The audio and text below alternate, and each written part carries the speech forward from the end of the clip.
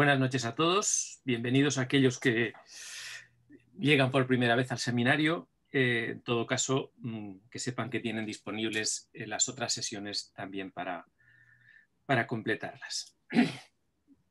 Voy a hacer un pequeño resumen de las sesiones anteriores antes de entrar en la sesión de hoy. Eh, estamos en, ante un papa conflictivo, tres encíclicas claves y la que vamos a ver es la tercera de ellas, la Fratelli Tutti de este, de este último año. Hay cuatro principios filosóficos en Francisco eh, que si antes estaban claros, en, estas, en, este capítulo, en los capítulos 6 y 7 van a estar todavía más claros y por eso eh, los he puesto con letras más grandes y los dos cuadraditos eh, los he hecho un poco más grandes. Fijaos, los cuatro principios son el tiempo es superior al espacio, la realidad es más importante que la idea y hoy vamos a ver tanto en el capítulo 6 como en el capítulo 7 cómo la unidad prevalece sobre el conflicto cuando hablemos del diálogo y cuando hablemos de lo que sería eh, la verdad y el diálogo va a ser importante, sobre todo también cuando planteemos lo que es eh, la cultura del encuentro.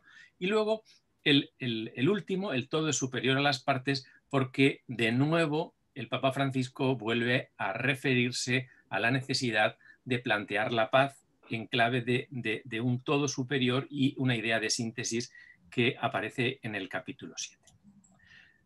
Repito también eh, algunas ideas filosóficas que están presentes en todo el texto como en todos los textos de Francisco. El primero, la primera idea de ellas, evitar el gnosticismo, es decir, reconocer los límites de la propia razón, el hecho de que eh, la razón es una razón abierta, evitar el pelagianismo, el hecho de que la voluntad humana eh, no es una voluntad eh, todopoderosa, sino que es una voluntad limitada y a veces nos creemos que esa voluntad realmente es una voluntad perfecta y creemos que las leyes y el cumplimiento de las leyes nos llevan hacia esa perfección cuando en realidad tendríamos que tener una actitud más humilde. Y hay eh, dos máximas que son también importantes en Francisco. La primera es el, el, el magis ignaciano, que es la fuente de la magnanimidad, y la segunda el hecho de concentrarnos en lo pequeño sin tener límite para lo grande.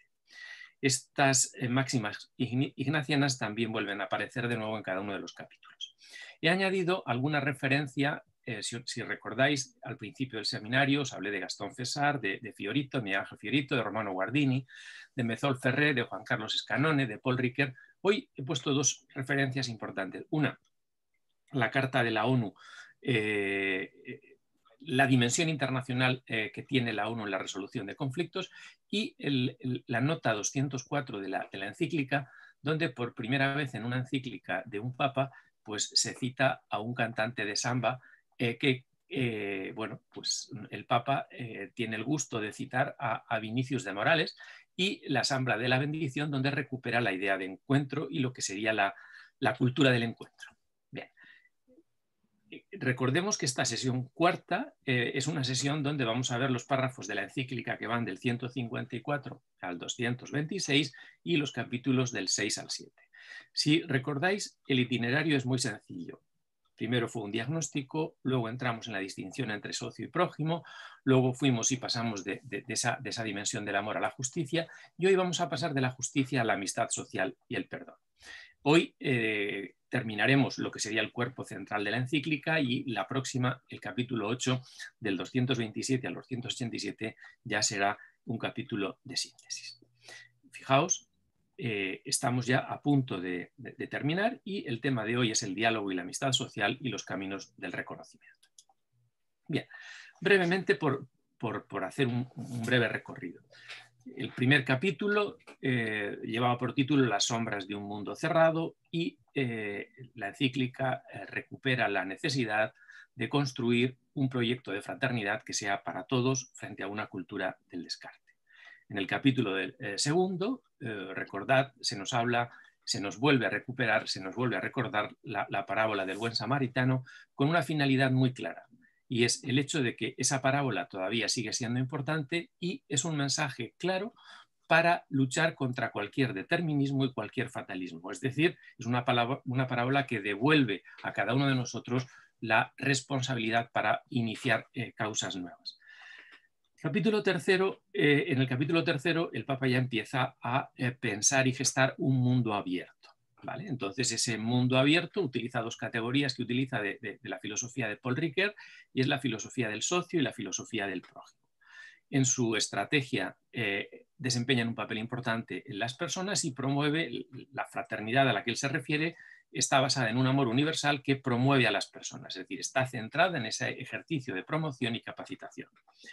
Y hay una idea muy clara y es la promoción necesaria del bien moral partiendo de una convicción y es sabernos responsables de la fragilidad de los demás. Esto nos va a llevar a una cultura del servicio donde servir significa cuidar.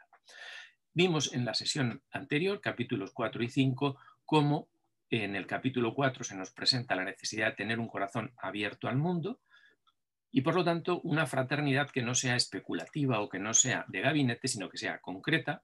Y para ello, ciertamente hay tres partes importantes en este capítulo y es la primera, el eh, reconocer el límite de las fronteras con los cuatro verbos claves, acoger, proteger, promover e integrar, el darnos cuenta de que esa fraternidad mm, mm, se basa y arranca del mundo del don, de, la acogida eh, que permite un nuevo desarrollo y a partir de ahí eh, brota algo nuevo eh, de un encuentro en el cual nos vamos a centrar hoy. Esto nos llevaba a, ver la tensión entre lo global y lo local y en qué medida pues, la imagen del poliedro y los colores del poliedro son unas metáforas que, Francisco utiliza cuando describe esa tensión entre lo global y lo local. Por último, en el capítulo quinto, y hasta aquí el repaso de lo que habíamos visto, en la encíclica, fijaos que es el, corazón de la encíclica, es el núcleo de la encíclica, está llamando a un eh, compromiso político y está llamando a que busquemos una mejor política. Él lo llama la mejor política al servicio del verdadero bien común.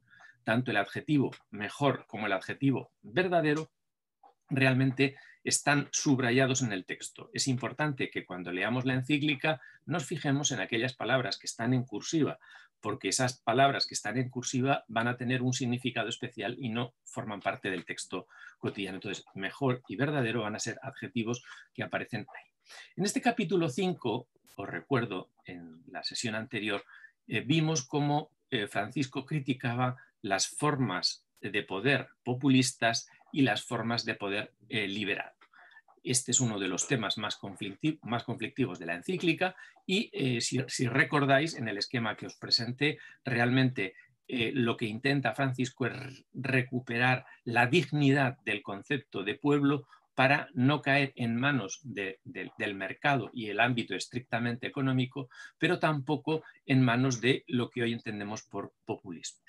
Esto significaba un refuerzo del poder internacional y eh, el darnos cuenta de que la crisis del 2007 eh, y 2008 no se cerró bien.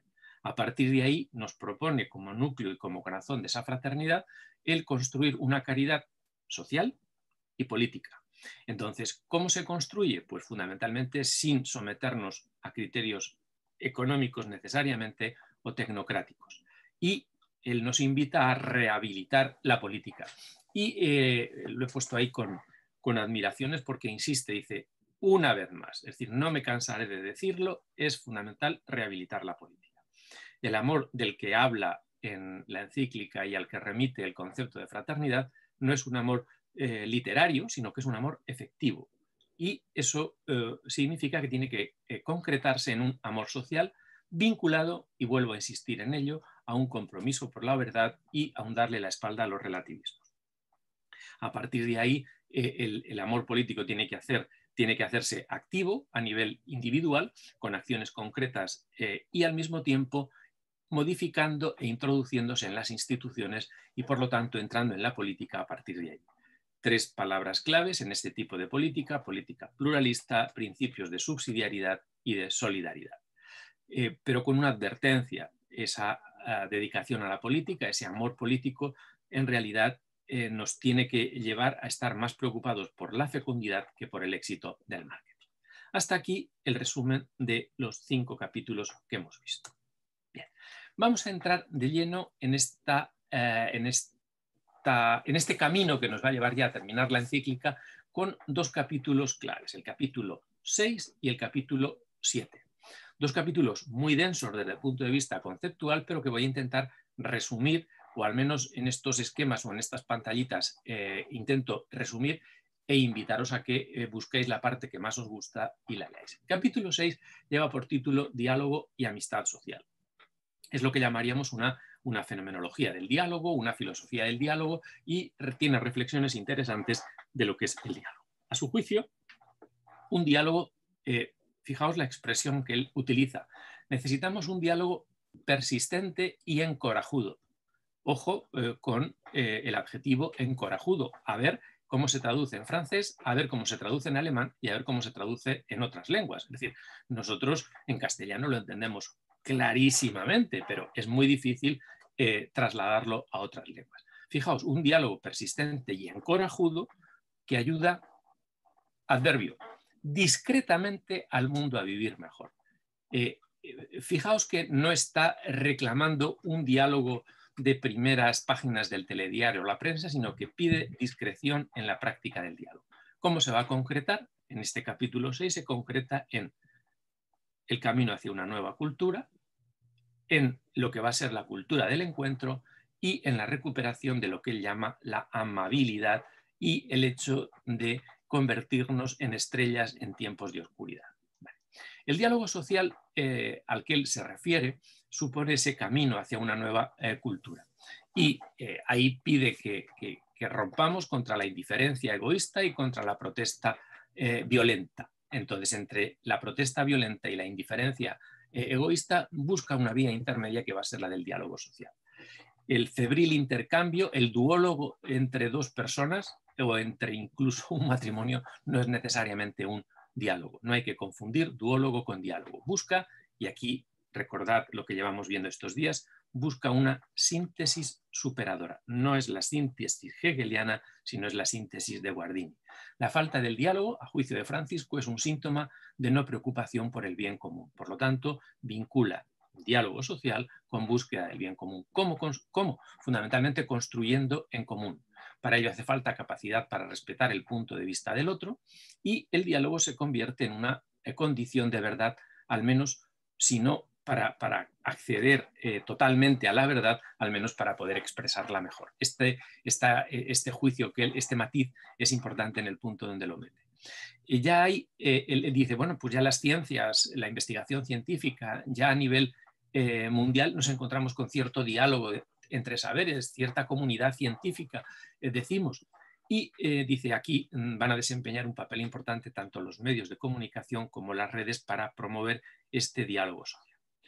Eh, ahora bien, el diálogo no es un simple consenso instrumental, sino que tiene una referencia clara a la verdad. Y esto aparece en el núcleo y en el corazón de este capítulo 5 el relativismo no es la solución, supone una capacidad crítica para desenmascarar el manoseo, la desfiguración y el ocultamiento de la verdad. Sin la verdad, los derechos humanos realmente eh, no tendrían sentido. Por lo tanto, vincula la defensa de los derechos humanos con la búsqueda de la verdad. Incluso estos derechos humanos podrían plantearse como fruto del simple consenso entre poderosos o un consenso puramente instrumental. A su juicio, eh, y aquí hay un párrafo también muy bonito, dice, hoy nos arrastra la asimilación de la ética y la política a la física. En los textos que, tenía pensado escoger, en un principio había elegido este donde habla de la reducción de la ética y la política a la física, pero bueno, no quería que hubiera ninguna reivindicación corporativa por aquello de la ética. Y en ese párrafo eh, advierte de cómo eh, cuando el diálogo no se encamina hacia la verdad, el riesgo es la nivelación hacia abajo y por lo tanto la pérdida de ese horizonte. Eh, sigue profundizando en la idea de consenso y la verdad. Dice, el pluralismo no es incompatible con la verdad. Esto es clave, es decir, eh, eh, expresamente aparece en el texto. En la realidad hay una serie de estructuras básicas que sostienen el desarrollo que tienen que ser descubiertas y que no son fabricadas por el consenso. estos párrafos hay que leerlos despacio porque suponen podríamos decir, una recuperación de un realismo crítico que eh, marca sus distancias con las filosofías o las éticas del simple contexto, consenso. Dice, no inventamos o suponemos la dignidad. La naturaleza humana está más allá del cambio cultural. Es decir, eh, hay una referencia a eh, principios morales elementales que pueden dar lugar a normativas y a prácticas distintas. Eh, desde el punto de vista ético, mm, aquí hay un, elemento importante y es, podemos encontrarnos con normas distintas que procedan desde los mismos principios que arranquen de, una misma idea de verdad. Esto deja siempre lugar para el diálogo. Este eh, punto de partida epistemológico, si queréis, eh, filosófico más, más duro, realmente se tiene que traducir en una nueva cultura que es la cultura del encuentro. Ojo con esta expresión, cultura del encuentro, ¿Por qué? Pues por una razón muy sencilla, porque eh, la repite el Papa Francisco, es decir, hay determinado tipo de rasgos que marcan un pontificado y uno de los rasgos y de las marcas del pontificado de Francisco es la repetición en todos los textos por activa y por pasiva de la expresión cultura del encuentro. La vida es arte de reencuentro, supone conformar, dar forma al poliedro al que él se refiere e implica incluir siempre a minorías. Nos apasiona intentar encontrarnos, buscar puntos de contacto, tender puentes, proyectar algo que incluya a otros. El sujeto de esta cultura es el pueblo. Ahora veremos porque he preparado un pequeño esquema rápido donde esto se desarrolla. ¿Cómo se concreta? Pues la paz social, dice, dice esto eh, es trabajoso y artesanal. Y utiliza el adjetivo artesanal y nos viene a decir, esto no es una cuestión eh, de fuegos de artificio, sino que es una cuestión, igual que trabajan los artesanos cuando hablamos de la paz y cuando hablamos del diálogo, pues realmente tenemos que trabajar con el mismo horizonte. La paz social es trabajosa y artesanal, exige integrar a los diferentes, algo que es difícil y lento. Lo que vale es generar procesos de encuentro. Fijaos, cultura del encuentro y procesos de encuentro, procesos que construyan un mundo que sabe recoger las diferencias. Aquí entraría, si queréis coger luego el enlace, la samba de la bendición de Vinicio de Moraes, donde habla de la importancia del encuentro en la vida. Eh, esto se concreta en el gusto de reconocer al otro. Los sueños de la libertad, la igualdad y la fraternidad Acordaos que estos tres ideales ilustrados ya aparecieron en el eh, capítulo segundo y tercero, pues se siguen, siguen apareciendo, es decir, no son ideales, podríamos decir, estrictamente revolucionarios, republicanos o laicos, sino que en realidad son ideales propios de esta tradición, de esta gran tradición filosófica en la que nos encontramos, donde libertad, igualdad y fraternidad no deben quedar al nivel de las formalidades, no pueden ser principios revolucionarios o ideales abstractos no hay una única forma de entender el progreso. Eh, aquí el Papa Francisco eh, eh, comenta que a veces con los pueblos primitivos o con culturas que no son las occidentales, realmente se nos olvida que pueden tener una idea de progreso distinta a la nuestra. Es decir, no quiere decir que sean pueblos primitivos y los nuestros sean pueblos que sí crean en la revolución y el progreso. No, no. Él nos está diciendo, mm, también tienen su idea propia de progreso. Y en, un párrafo comenta, dice, los pueblos originarios no están en contra del progreso, sino que tienen una idea diferente. Esto lo vamos a ver ahora después. Y por último, en este capítulo 6, eh, supone y plantea eh, la recuperación de un concepto que es el concepto de amabilidad, pero no, no como algo sensiblero, sino vinculado al carácter, a la forja del carácter. Aquí eh, lo deja claro en dos o tres puntos. Y al principio, cuando recupera esta categoría de amabilidad, dice, las personas que, eh, que, practican esta virtud de la amabilidad son como estrellas en tiempos de oscuridad. Dice, urge la amabilidad como un carácter que sostiene y que conforta, que hace soportable la existencia de los demás y por lo tanto genera amabilidad en el trato, cuidado para no herir, intento de aliviar, el peso de la vida a los demás. Aquí eh, dice, eh, eh, estamos ante la necesidad del milagro de una persona amable. Es aquella que facilita la búsqueda de consensos y abre caminos donde la exasperación destruye todos los puentes. En el corazón de este, de este capítulo se produce esta ah, fusión, es decir, el concepto de encuentro mm, no es un concepto sociológico, sino que es un, concepto, podríamos decir, eh, moral, porque la finalidad del encuentro es generar y producir cultura. En un primer momento, el encuentro social, buscar puntos de contacto, tender puentes, se transforma en diálogo de formas culturales, lo que exige proyectar algo que nos incluya a todos, fraternidad, eso nos lleva a repensar el pacto social. Esto sería interesante porque es eh, una de las primeras veces que a nivel de encíclicas se, utiliza la expresión pacto social, no se llega a utilizar la expresión contrato social, pero eh, podríamos decir que son sinónimos en este caso. Un pacto social para generar procesos de reencuentro que sean inclusivos. Eh, la condición de esos reencuentros inclusivos es que no se invisibilicen las minorías como ha sucedido en determinados momentos. Ese pacto social se puede transformar en un pacto cultural donde los sueños de libertad, igualdad y fraternidad no queden en puras formalidades. Este proceso nos llevaría a plantear la necesidad de un realismo dialogante. Supone recoger las diferencias y enseñar la batalla del encuentro. Él utiliza esta expresión al final de, uno de sus párrafos. Dice, tenemos que enseñar a nuestros hijos la batalla del encuentro, como que el encuentro eh, exige eh, una cierta militancia y una eh, una batalla. Dos eh, puntos importantes en este capítulo 6, el punto 216 y el punto 217.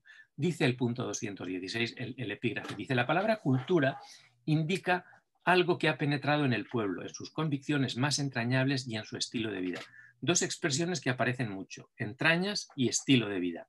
Si hablamos de una cultura del pueblo, eso es más que una idea o una abstracción. Incluye Fijaos, ganas, entusiasmo y finalmente una forma de vivir, una forma de vivir. ¿Qué caracteriza a ese conjunto humano? Entonces hablar de cultura del encuentro significa que como pueblo nos apasiona intentar encontrarnos, nos apasiona buscar puntos de contacto, nos apasiona buscar tender puentes, nos apasionan proyectos de algo, proyectar algo que nos incluya a todos. Esto se ha convertido en deseo y en estilo de vida. El sujeto de esta cultura es el pueblo, no un sector de la sociedad que busca pacificar al resto con recursos profesionales y mediáticos. Hasta aquí el punto 216. Me parece importante también el 17 y por eso los he puesto los dos juntos. La paz social es trabajosa, artesanal. Sería más fácil contener las eh, libertades y las diferencias con un poco de astucia y de recursos, pero esta paz sería superficial y frágil, no el fruto de una cultura del encuentro que la sostenga. Integrar a los diferentes es mucho más difícil y lento, aunque es la garantía de una paz real y sólida. Esto no se consigue A, agrupando solo a los puros, porque aun las personas eh, que pueden ser cuestionadas por sus errores tienen algo que aportar eh, que no debe perderse. Tampoco consiste en una paz que surge de acallando las reivindicaciones sociales o evitando que hagan lío. Fijaos la expresión eh, propia de, de Francisco, evitando que hagan lío, ya que no es un consenso de escritorio o una efímera paz para una minoría feliz. C. Lo que vale es generar procesos de encuentro, procesos que construyan un pueblo que sabe recoger las diferencias. Al final, fijaos, incluso lo pone con admiraciones, armemos a nuestros hijos con las armas del diálogo. Enseñémosles la batalla de la buena batalla del encuentro. Eh, aquí en este, en este último párrafo, el apartado eh, A, B y C lo he puesto yo para, para desglosar un poco el texto y señalar cómo el propio Francisco modifica sus propios textos que él cita. Es decir, hay un ejercicio hermenéutico interesante porque en este punto 217 él coge textos suyos, pero los amplía y actualiza el significado. Eh, en este capítulo 6, que como os decía es el corazón de la encíclica, habla del diálogo en una sociedad eh, pluralista. 211 y 212 son puntos importantes donde describe cómo entiende el diálogo. Leo. En una sociedad pluralista, el diálogo es el camino más adecuado para llegar a reconocer aquello que debe ser siempre afirmado y respetado, y que está más allá del consenso circunstancial. Fijaos, más allá del consenso circunstancial. Hablamos de un diálogo que necesita ser enriquecido e iluminado por razones, por argumentos racionales, por variedad de perspectivas, por aportes de diversos saberes y puntos de vista y que no excluye la convicción de que es posible llegar a algunas verdades elementales que deben y deberán ser siempre sostenidas. Aquí hay mucha filosofía de fondo. Aceptar que hay algunos valores permanentes, aunque no siempre sea fácil reconocerlo, otorga solidez y estabilidad a la ética social. Recordemos que el Papa se acuerda de Zygmunt Bauman muchas veces y habla de sociedades líquidas, habla de lo líquido. Pues bien, cuando contraponemos líquido y sólido, este es el lugar de la encíclica en el cual eh, tenemos que tener claro a qué tipo de solidez se refiere. Aun cuando los hayamos reconocido y asumido gracias al diálogo y al consenso, vemos que estos valores básicos están más allá de todo consenso. Los reconocemos como valores, fijaos, trascendentes a nuestros contextos y nunca negociables. Podrá crecer nuestra comprensión de su significado y alcance, y en este sentido el consenso es algo dinámico. Lo he puesto, si os fijáis, con negrilla y con un tipo de letra más grande para que os deis cuenta de que la estabilidad de los valores no es incompatible con el carácter dinámico de sus interpretaciones, pero en sí mismos son apreciados como estables por su sentido intrínseco. Termino este apartado del, del capítulo 5 que me parece importante. Dice, si algo es siempre conveniente para el buen funcionamiento de la sociedad, ojo con el estilo literario de este punto 12. El Papa Francisco se pregunta, repito, si algo es siempre conveniente para el buen funcionamiento de la sociedad, no es porque detrás de esto hay una verdad permanente que la inteligencia puede captar. Eh, es una pregunta retórica, pero es una pregunta, yo creo que epistemológicamente es probablemente de las que más valor tienen aquí en esta encíclica. Repito, no es porque detrás de eso hay una verdad permanente que la inteligencia puede captar. En la realidad misma del ser humano y de la sociedad, en su naturaleza íntima, hay una serie de estructuras básicas que sostienen su desarrollo y su supervivencia. De ahí se derivan determinadas exigencias que pueden ser, fijaos, no construidas, descubiertas gracias al diálogo, si bien no son estrictamente fabricadas por el consenso. Están descubiertas, no son fabricadas por el consenso. El hecho de que ciertas normas sean indispensables para la misma vida social es un indicio externo de que son algo bueno en sí mismo.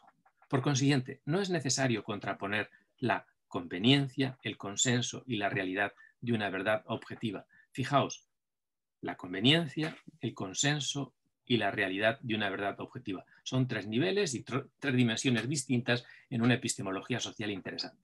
Estas tres pueden unirse armoniosamente cuando, a través del diálogo, las personas se atreven a llegar hasta el fondo de una cuestión. Fijaos, no estamos ante un planteamiento solo de carácter realista y crítico, sino también un planteamiento pragmático, cuando recupera la conveniencia, el consenso y la realidad de una verdad objetiva.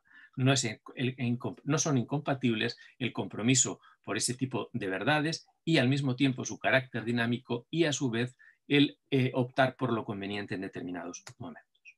Vamos al capítulo séptimo. El capítulo séptimo tiene, eh, es también eh, muy amplio y es complicado. Lo he dividido en dos pantallas. Una primera, Caminos del Reencuentro, donde profundiza en lo que es el concepto de artesanos del perdón y de la paz. Dice Francisco, dice, hacen falta caminos de la paz que lleven a cicatrizar heridas y necesitamos convertirnos en artesanos de la paz, generar procesos de sanación y reencuentro con ingenio y audacia.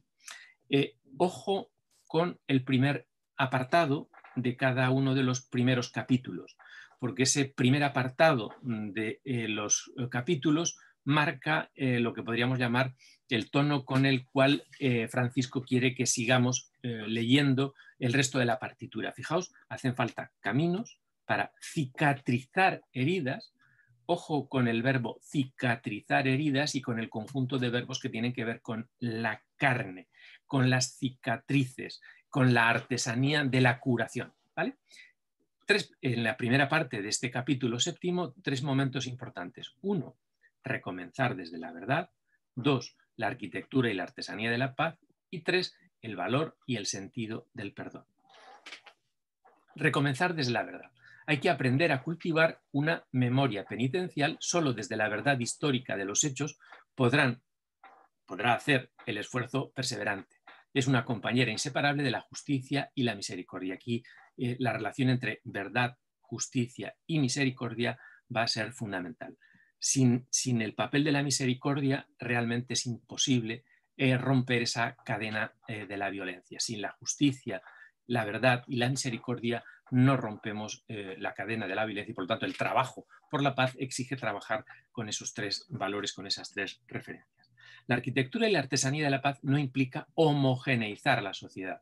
Fijaos que no está por la paz de los cementerios o la paz de las encuestas o la paz del silencio social. No implica homogeneizar la sociedad el otro nos puede aportar algo. de una manera proactiva. El esfuerzo para superar la división supone un básico sentimiento de pertenencia.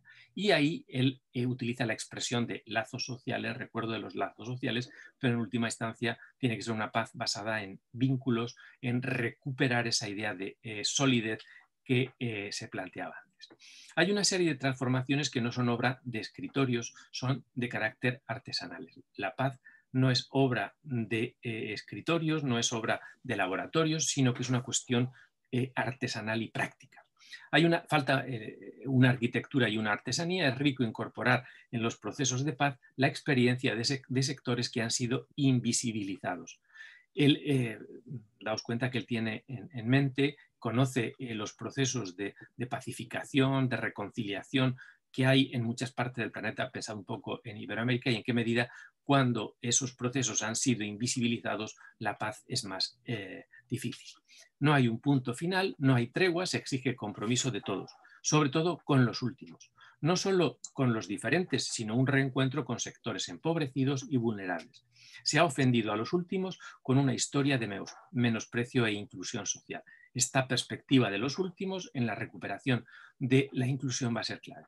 La inequidad y la falta de un desarrollo humano integral no generan la paz. Por lo tanto, condiciones sine qua non de la paz, ese desarrollo y esa lucha por la justicia. Si se abandona en la periferia a una parte, no se podrá asegurar la tranquilidad.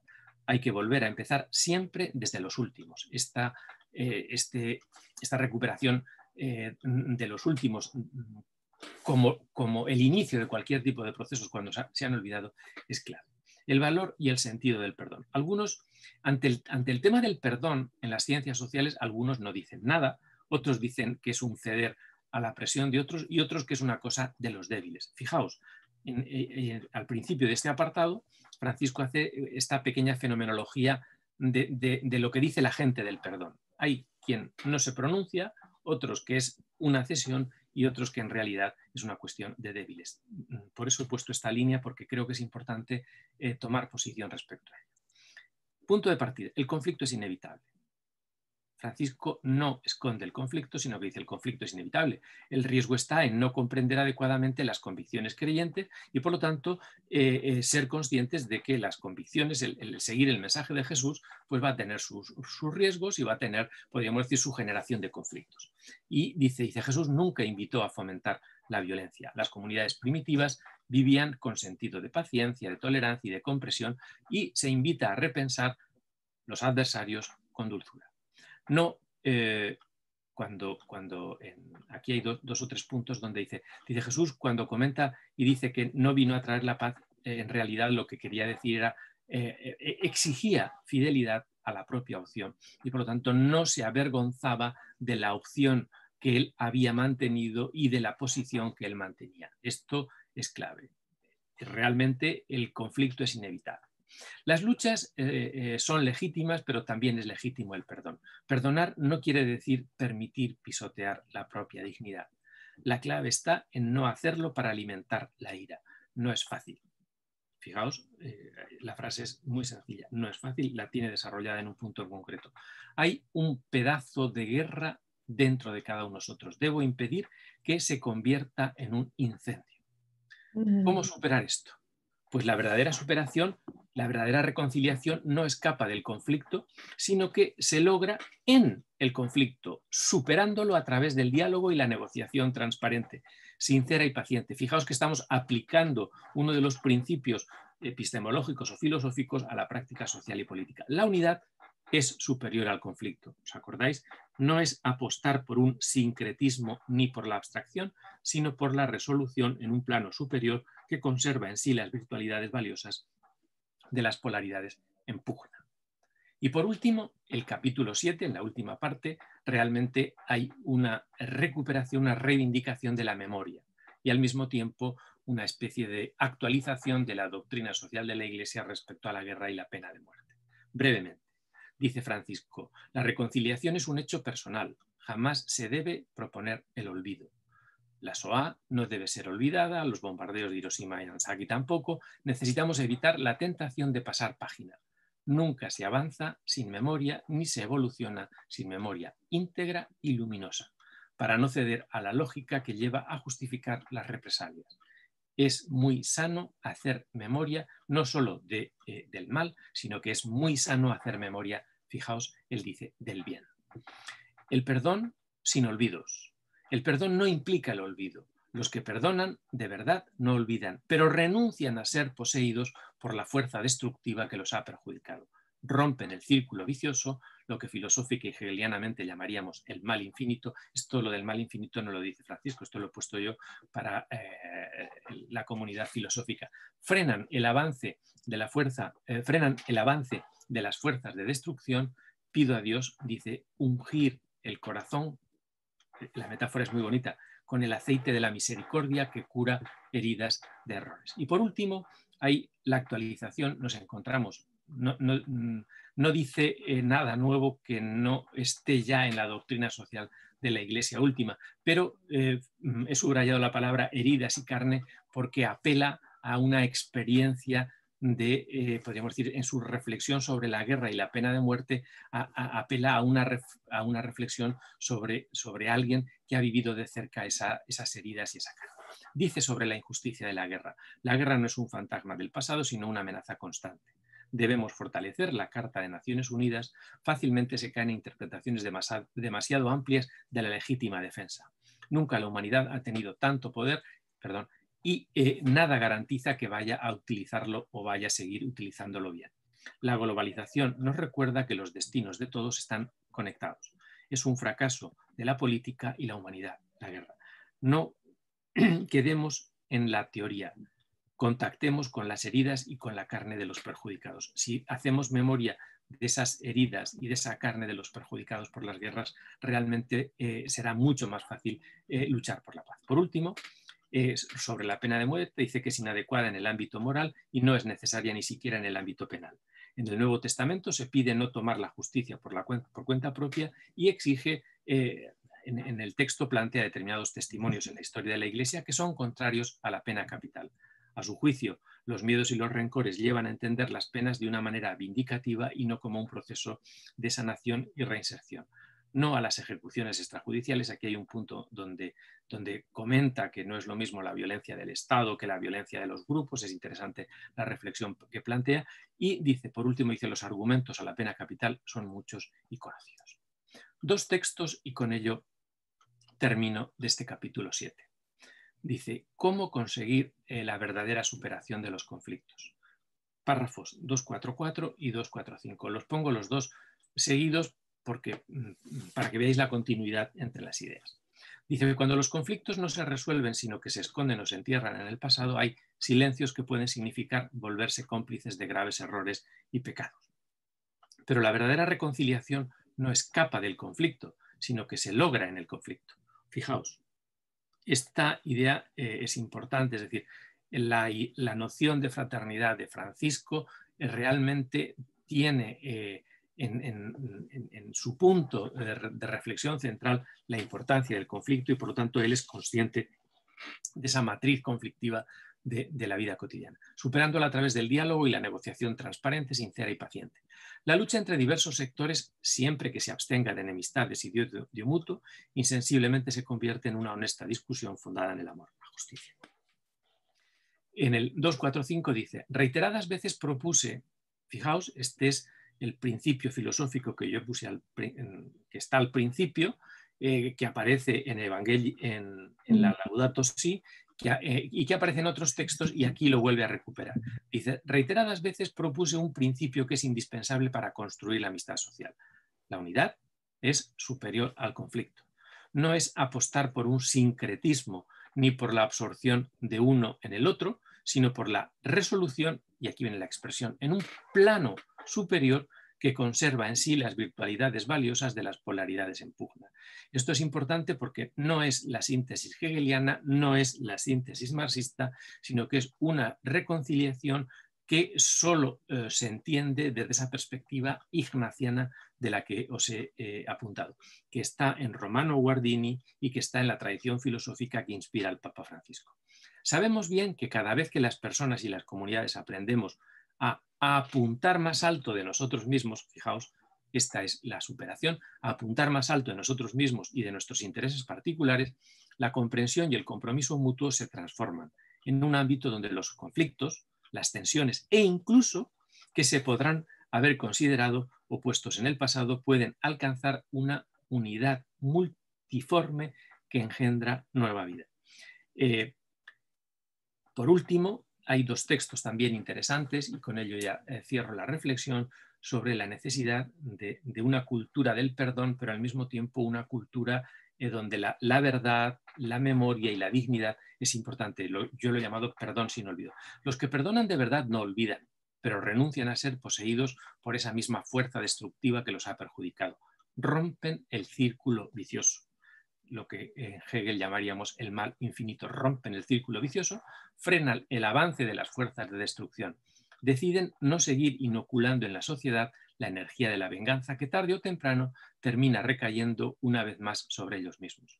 Porque la venganza nunca sacia verdaderamente la satisfacción de las víctimas. Hay crímenes tan horrendos y crueles que hacer sufrir a quien los cometió no sirve para sentir que se ha reparado el daño. Ni siquiera bastaría matar al criminal, ni se podrían encontrar torturas que se equiparen, que se equiparen a lo que pudo haber sufrido la víctima la venganza no resuelve nada. Se trata de romper ese círculo vicioso, romper eh, el mal infinito. Por último, y con ello terminamos la reflexión, tampoco estamos hablando de impunidad, pero la justicia solo se busca adecuadamente por amor a la justicia misma, por respeto a las víctimas, para prevenir nuevos crímenes y en orden a eh, preservar el bien común, no como una supuesta descarga de la propia ira.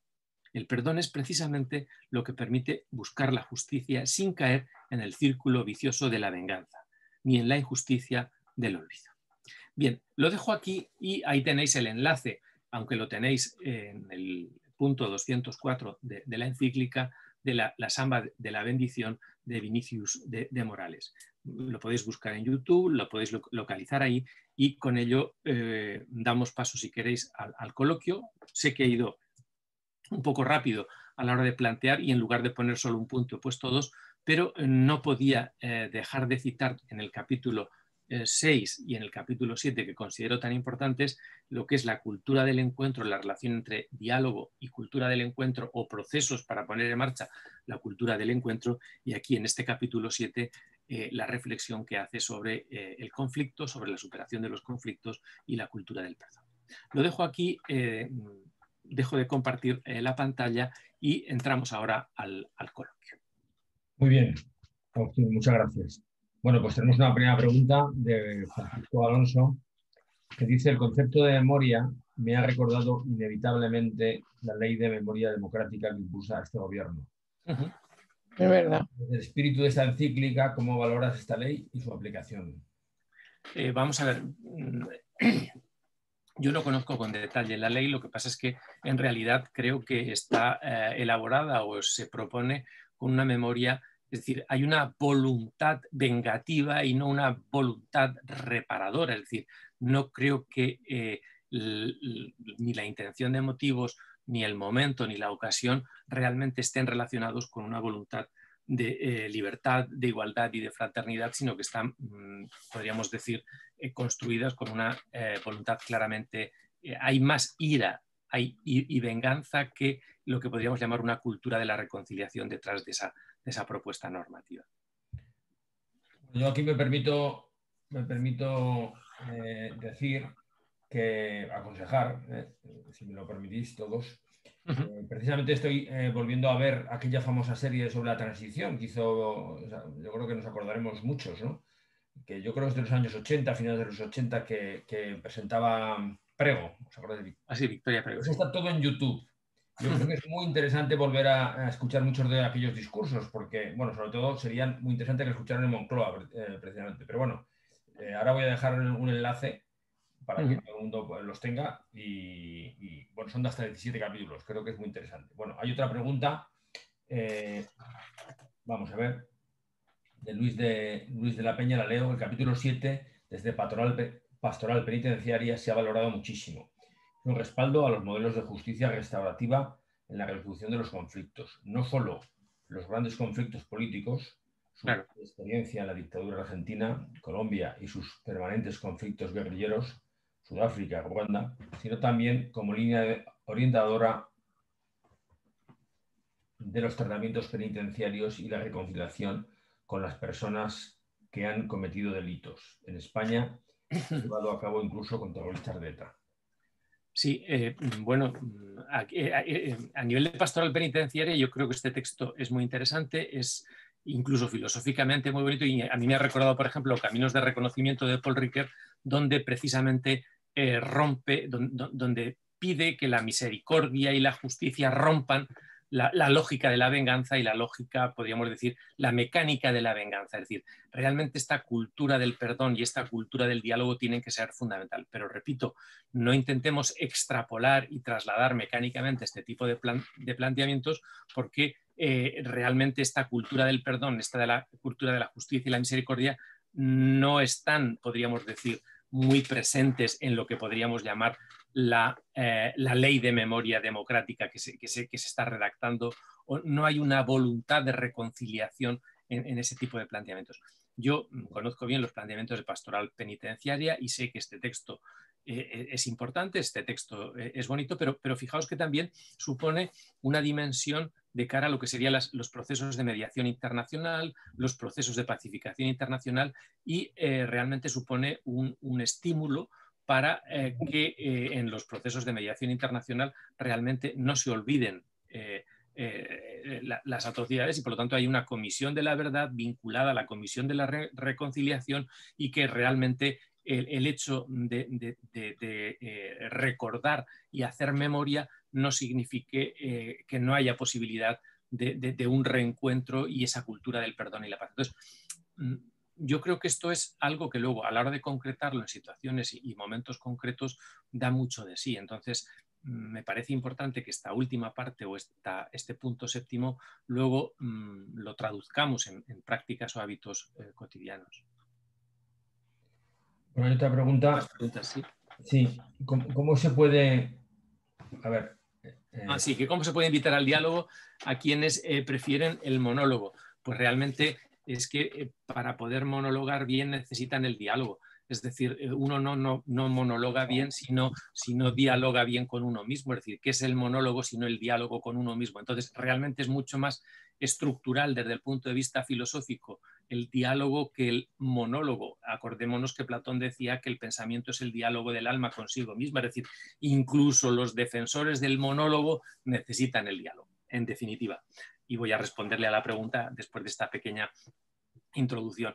Realmente em, nos vamos a encontrar con eh, personas que no van a querer dialogar, que van a eh, utilizar la fuerza, que van a utilizar la violencia, eh, que pueden incluso mm, enfrentarse a nosotros desde el punto de vista eh, podríamos decir, mm, instrumental, por llamarlo de alguna forma. Ahora, eh, mm, Francisco lo que nos está apuntando es una dirección de trabajo, un modo eh, de trabajar, pero mm, recordemos que es una categoría que no es solo epistemológica, sino que también es una categoría desde el punto de vista práctica. Claro, em, no sé si cuando Javier hace esta pregunta se refiere a grupos que realmente, eh, podríamos decir, tienen mayoría y cuando yo como minoría quiero dialogar, eh, no, eh, la cosa no es tan sencilla y no, no es tan simple. Entonces yo creo que en realidad cuando uno no quiere dialogar, hay que hacerle ver que tiene que haber una zona común en virtud de la cual podemos comunicarnos y luego habría que entrar en cuestiones concretas, en espacios concretos y decir, bueno, el pluralismo no impide el que busquemos la verdad, incluso el defensor del monólogo va a tener que eh, buscar ciertos consensos o ciertos acuerdos, aunque solo sea desde el punto de vista práctico. Pero en fin, eh, son muchas cuestiones filosóficas las que aparecen aquí. Vamos a ver, eh, Javier preguntaba también por, bueno, pues como dice, si tenemos que ser perfectos como Dios es perfecto y Dios perdona y olvida, este planteamiento de Francisco, eh, con que hay que, digamos, la conciliación de esa cuestión con la necesidad de, es que luego me ha, completado la pregunta también privado, ¿no? Sí. De, no olvidar, ¿no? Digamos, la compatibilidad entre el, entre no olvidar y el, y el perdón, ¿no? Bueno, mm, yo vuelvo, vuelvo a decir, es decir, eh, se dice muy claramente la necesidad de eh, que la cultura del perdón no es incompatible con una cultura de la memoria y con la lucha por la verdad y las comisiones por la verdad y el no olvidar. Ahora bien, eh, el hecho de que tengamos siempre presente las cosas, es decir, realmente el perdón significa una voluntad de sanación de las heridas y no una voluntad de ir abriendo las heridas. Entonces, eh, el texto de, Francisco está, está, muy claro. Eh, Vanessa Polak. Más preguntas. Un comentario, un comentario nada más. Dice, gracias por las palabras. El magisterio del Papa ayudaría mucho a la voluntad política de crecimiento en la crisis que se vive ahora en el Perú. Tenemos una crisis política muy fuerte donde no hay consensos, no se busca el diálogo y no pareciera que se busca el bien común. Tenemos el país descabezado, sin saber a dónde ir. Todavía hay, alguien que, hay, algún país que parece que todavía las cosas, nos, nos, nos comparamos, parece que todavía van peor, ¿no? Bien, desconozco el contexto de Perú y yo realmente... Ha dimitido el presidente, ¿no? Si no me equivoco. Sí, sí, ha dimitido después de las manifestaciones y el hecho de que haya muerto gente en las manifestaciones. Pues no eh, conozco eh, realmente... Eh, Vanessa, para aclarar alguna cosa, por supuesto. Sí, sí, sí. Si quieres darle la palabra, por mí no hay ningún inconveniente. Sí, por supuesto, que se active el micrófono y puede intervenir cuando quiera.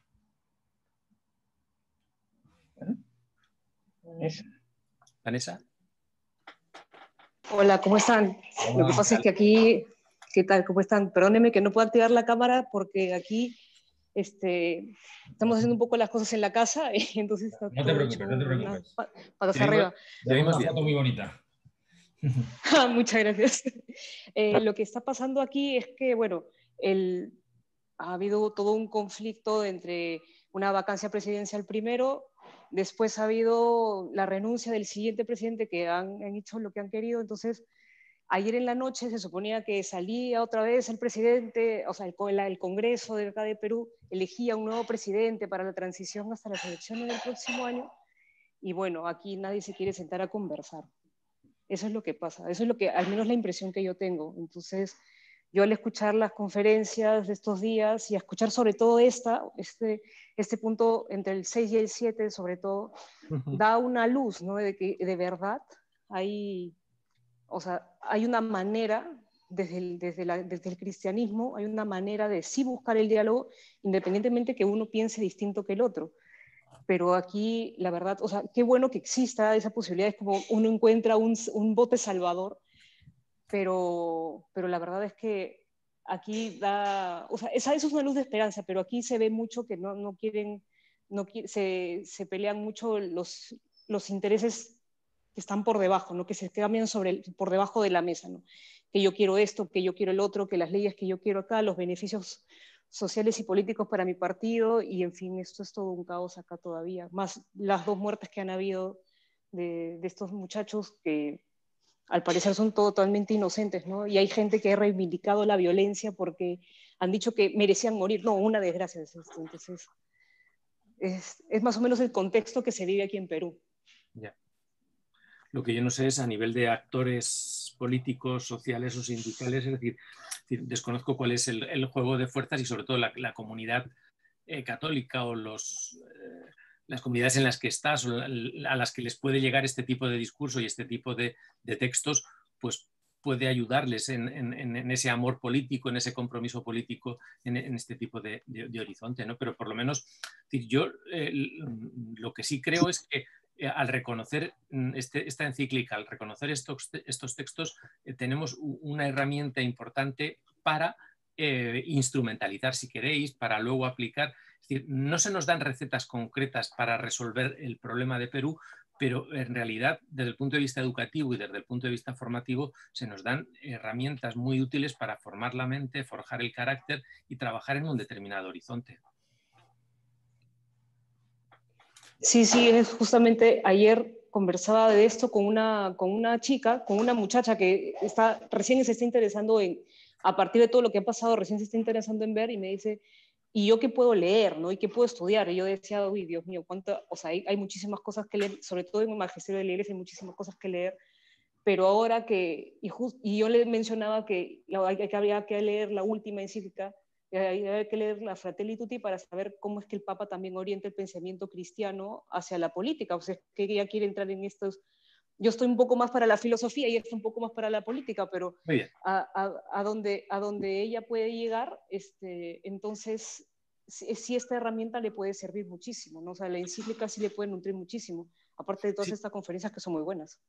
Sí, pero fíjate también que eh, la encíclica eh, lo que hace el Papa es recuperar y recoger determinados textos que él ha tenido determinado tipo de intervenciones. Es decir, es decir tiene reflexiones de aluvión que él ha sintetizado en este texto. Entonces, yo creo que es importante, eh, bueno, como texto de síntesis hay que utilizarlo, pero también es, es, importante, si te preocupa o si tu compañera le interesa, decir, ver un poco eh, el origen de los textos que cita, porque eh, es muy útil desde el punto de vista podríamos decir, del aprendizaje de cómo se ha construido este documento. Y hay algunos textos sobre los obispos brasileños, por si te interesa el, conflicto de Perú, y eh, recupera también textos de otras conferencias episcopales donde ha habido determinado tipo de conflictos. Entonces, esto no quiere decir que, el texto de Francisco sea, podríamos decir, eh, muy brillante desde el punto de vista filosófico, o que sea eh, una gran encíclica. no, no, es un trabajo de síntesis y es un trabajo útil y, yo creo que eh, realmente eh, hay que saber leer, por eso he hecho yo hincapié en los subrayados, en los adjetivos, en los añadidos, en elementos que él este verano, cuando estuvo corrigiendo las pruebas, eh, realmente cerró para que saliera ahora en octubre. Es decir, realmente es un texto mm, que, puede resultar útil. A quien no sea creyente, a lo mejor le resulta una buena síntesis, pero mm, si uno es más o menos creyente, le puede le puede ayudar a caminar en este eh, difícil mundo de los conflictos, de la política, de la tensión entre lo que sería eh, el encuentro y el diálogo. Creo que eh, en ese sentido es iluminador. Está perfecto, muchísimas gracias, de verdad. Gracias, gracias por, dejarme aquí a compartir un poco de lo que pasa. Muchas gracias. Al contrario, Vanessa, muchas gracias a ti. pues es, una satisfacción ¿no? ver que estamos de los dos lados del, del Atlántico. ¿no? Estamos eh, en, diálogo y ayudándonos unos a otros, ¿no? Que es de lo que se trata. ¿Alguna pregunta más aquí en el chat? Sí, sí, sí, sí. Eh, eh, la cultura del diálogo implica la cultura de la escucha y, cuánta voz se ha quitado a pueblos enteros. ¿Será la política el recurso apropiado? Sí, fijémonos que es la primera vez que en una, que en una encíclica pues eh, eh, el Papa pide recuperar aquello que, estaba olvidado, recuperar aquellos que eran invisibles y hacerlos visibles. Es decir, él, es decir, eh, el hecho de que haya venido del sur es importante para introducir en la doctrina social de la Iglesia este tipo de reflexión sobre lo olvidado, sobre lo marginado, sobre los últimos. Es decir, si, no tenemos en cuenta a estos invisibilizados, realmente vamos a tener que partir siempre de cero. Entonces, nos está invitando a partir de, de ahí. ¿no? Entonces, en ese sentido eh, puede ser útil. Eh, esta pregunta la había hecho Eliana Ceballos, porque ahora nos ha aclarado eh, qué, nombre está detrás del seudónimo. Bien, Carmen Crespo pregunta, cultura del encuentro, iglesia en salida, escuelas en salida, ¿es ir también a encontrarnos con los que están al borde del camino? Sí, yo creo que mm, cuando se habla de iglesia en salida, cultura, no quiere decir vamos a ver, mm, realmente eh, eh, eh, lo que el Papa está haciendo es invitándonos pues, a estar lo que ya hemos llevado muchas veces, no tanto dentro cuanto un pie dentro y otro pie fuera, es decir, darnos cuenta de que a nivel escolar, a nivel educativo, a nivel, es decir, realmente la batalla no solo se juega dentro, que tiene una dimensión interna, sino que en realidad no hemos venido a anunciarnos a nosotros mismos, sino que en realidad estamos aquí pues para ser fermento y para ser luz y entonces la pregunta no es, eh, no hemos encendido las velas o los candiles para guardarlos dentro, sino que en realidad si hay velas, si hay candil y hay que estar con las lámparas preparadas, no es para guardarlas en, el almacén, sino para sacarlas fuera y fuera hace mucho frío, hace aire, hace viento, eh, no sabemos cuándo va a venir el que nos espera, es decir, la, cosa no es fácil. Entonces, a nivel educativo, pues eh, la, revuelta está clara, a nivel social y cultural también. ¿Por qué? Pues porque realmente no es agradable el, enfrentarte al discurso políticamente correcto, pues porque reivindicar una cultura del perdón, una cultura del encuentro, una cultura del diálogo, cuando a nivel social se fomenta la polarización, pues realmente eh, tú no estás, no estamos apostando por la polarización, pero sí estamos apostando por unas convicciones y una propuesta que realmente lo que intenta es sanar heridas y no, eh, podríamos decir, mm, volver a, abrir eh, heridas o, errores que se han cometido. Bueno, gracias Eliana, porque, mm, bueno, Eliana, tengo cierta amistad con ella y se ha, se ha apuntado y me alegro que haya intervenido. Bueno, de momento estas serían las preguntas. Yo no sé si alguien más eh, quiere hacer alguna otra pregunta o, quiere animarse a hacer algún comentario. Que por supuesto, en ese caso, pues que active el micrófono libremente y que lo haga. Bueno, ya nos estamos preparando para la última. En la última voy a hacer una recapitulación final y una síntesis. Y bueno, no es que, haya una traca final estilo eh, falla valenciana, pero en fin, voy a intentar, bueno, pues dejar una serie de preguntas, una serie de tareas y animar para otras propuestas.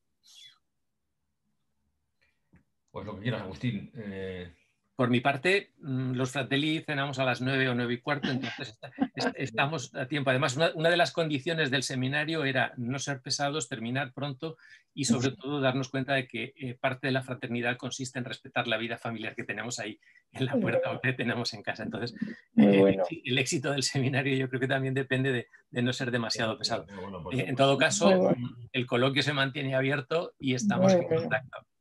Muy pues bueno, muy bueno. Pues, pues, si Dios quiere, nos vemos el. Nos vemos ya el, el, próximo lunes, Dios mediante. El lunes, Dios mediante, que en principio para finalizar, no sé si.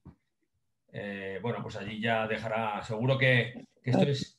¿Verdad? Como esto es la, el fin, será el fin de la primera temporada, ¿no? Pero tendremos seguro que siguientes temporadas, ¿verdad? Sí, sí. Además, mm, bueno, yo quiero mm, que pidamos todos por, por Fernando y por la gente del seminario que está medio confinada, porque hay muchos que están eh, con, el, con el COVID y entonces mandémosles energía, recemos por ellos porque en realidad, eh, bueno, pues no son cualesquiera de, de, militantes dentro de lo que sería lo nuestro, entonces pidamos por ellos, ¿vale? Aquí hemos dejado, tanto yo como David Alfred también hemos dejado unas eh, recomendaciones, ¿no? Yo he dejado sobre, he dejado el primer link al primer capítulo de la serie de la transición y luego también eh, nos ha aconsejado también David otro, otro programa. Bueno, pues aquí. Bueno, Todo será bienvenido, ¿eh? Es decir, David, aprovecho para saludarte. Muy bien, pues nada. Eh, buenas noches a todos y nos vemos la, semana que viene, si Dios quiere. Muy bien. Hasta mañana y hasta la semana que viene. Gracias. Gracias, Agustín. Gracias. Gracias. Muchas gracias a todos. Chao. Chao. Hasta pronto. Gracias. Hasta luego, Eugenio. Adiós. Chao.